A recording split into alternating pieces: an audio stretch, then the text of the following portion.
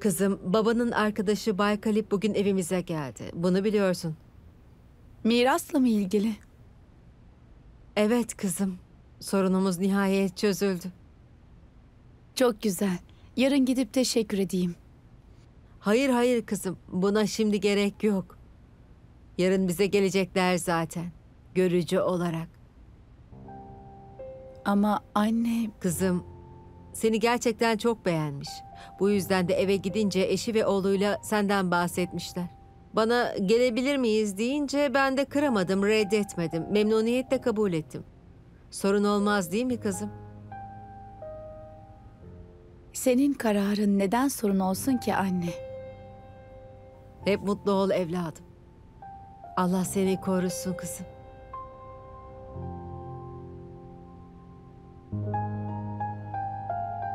Amcanın söylediğinden daha da güzelmişsin canım. Yüce Tanrım ona iyi bir karakter ve eğitim vermiş. Kızımız çift dal master yapıyor. Tanrı esirgesin aynı babası. Bir laf var duymuşsunuzdur. Anne eğitimli olunca aile de eğitimli olur. Oğlumuz Muhammed Selim teknik alanda diploma sahibidir. İşletme lisansı aldı ve bilgisayar kurslarına da gitti. Tanrı'nın izniyle bir de devlette iş buldu. Çok şükür maşallah. Gönlüm doldu taştı. Tehzibin başarılarına bakınca çok mutlu oldum. Sizinle tanıştığım için de ayrıca mutluyum. Aynı şekilde. Artık bir dahakine de bize bekleriz. Evet elbette neden olmasın kesin geliriz. Artık bolca gelir gideriz.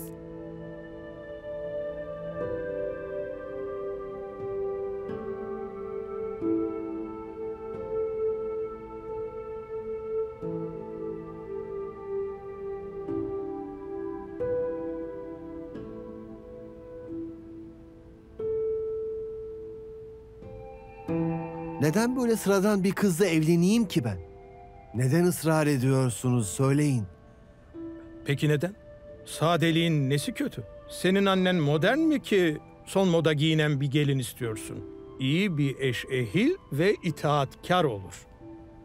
Aptal çocuk. Haklı. Reddetme oğlum. Siz bu kızın nesini beğendiniz acaba ha? Neresi kötü bu kızın söylesene. Çok sade baba. Biz de öyle bir kız isteriz zaten. Onlarla bir konuş bakalım. Nasıl reddedecekmiş? Böyle bir gelini kim istemez ki? Ama anne Kapa çeneni. Ağzından tek kelime daha çıkmayacak. Bana bak oğlum. Her ne yapıyorsam senin için. Neden anlamak istemiyorsun? Mutluluğunu istiyorum. tamam o zaman. Onun akrabalık kuracak değilim sonuçta değil mi? Sizin olsun benim için sorun değil. Neden? Bu çocuk beni strese mahkum etti. Endişelenme. Her şey yoluna girer.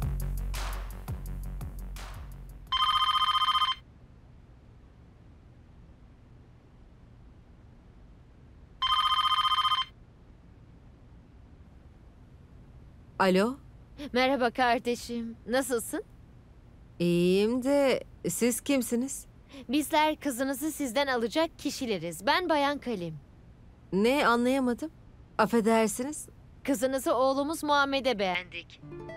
Çok heyecanlıyız ve kızınızla oğlumuzun evlenmesini gerçekten çok isteriz. Sizden evimizi ziyaret etmenizi ve Muhammed Salim hakkında aklınızda her ne kadar soru varsa çekinmeden sormanızı isteriz. İsterseniz tabii. Tabii tabii inşallah. Akrabalarımla geleceğiz sakıncası yoksa eğer. Öyle tabii. Hoşça kalın. Hoşça kalın.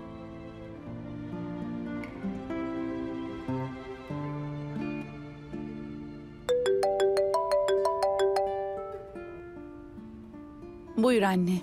Canım eğer meşgul değilsen seninle iki dakika konuşmak istiyorum. Tabii anne. Her şey yolunda mı? Sana çok güzel haberlerim var kızım. Tamam. Söyle bakalım. Bunun için akşam eve biraz erken gelmen gerekebilir. Tamam anne, hemen gelirim. Tamam hoşça kal.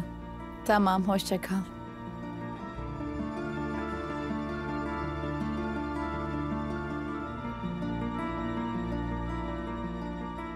Merhaba tatlım. Ne oldu anne? Çok mutluyum kızım. Allah sonunda dualarımı kabul etti. Anne söylesene ne oldu? Gel buraya. Otur önce. Beni dinle. Bay ve Bayan Kalim'le tanıştın. Oğulları teklifini kabul etti. Ve senin sadeliğine bayılmışlar kızım. Haklıydın canım. Bu dünyada gösteriştense sadelik tercih eden de varmış gerçekten. Ben sadece işleri hızlandırmaya çalışıyordum. Allah'a milyonlarca kez şükür ki evladım. İnsanlar oldukça kibar. Onları yıllardır tanıyordum. Gerçekten çok mutluyum. Bu teklife bir itirazın var mı canım? Mutlu musun bana söyle. Anne, eğer beğendiysen beğenirim. Mutluysan mutlu olurum. Üstümü değiştirmeliyim.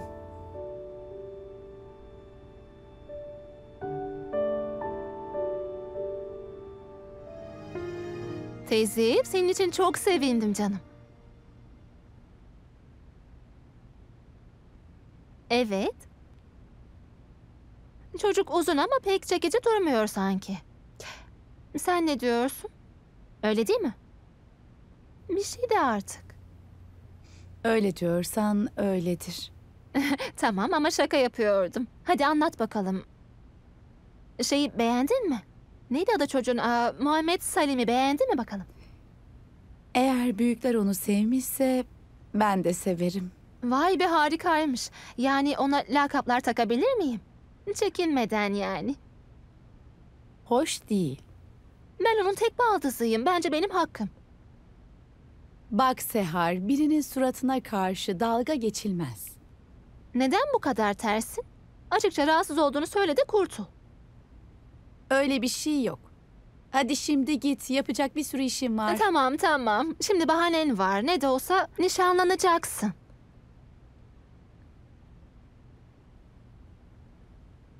Senin için çok sevindim.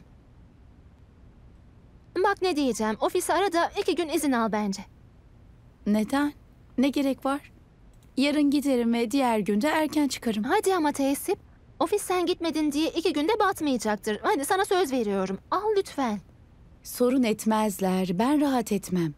Bak, tüm bunlar benim işim ve benim sorumluluğum. Ve ben kimseye sorun çıkarmak istemiyorum. Of, sen ve senin şu prensiplerin.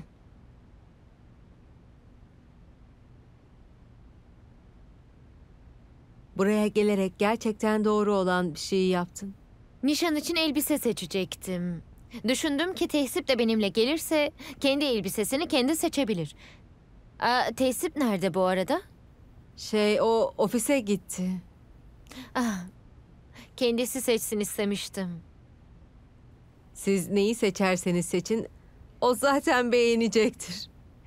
O zaman bana kıyafet ölçülerini ve ayakkabı numarasını verin. Tabii tabii elbette. Neden olmasın yazarım. Size bir şey söyleyebilir miyim müsaade ederseniz? Tabii buyurun.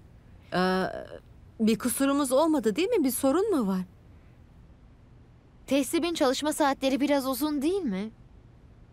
Yani zavallıcık çok sıkı çalışıyor. Hem evi hem işi aynı anda idare etmesi gerekecek. Siz endişelenmeyin. Evlendikten sonra işten ayrılır o zaten. Aa, ben onun için söylememiştim. Yorulacağından endişelendim sadece. Bu durumdan endişeliyim. Hayır kardeşim. Neden yanlış anlayayım ki? Tamam, bekleyin. Ben gerekli bilgileri yazıp getireyim.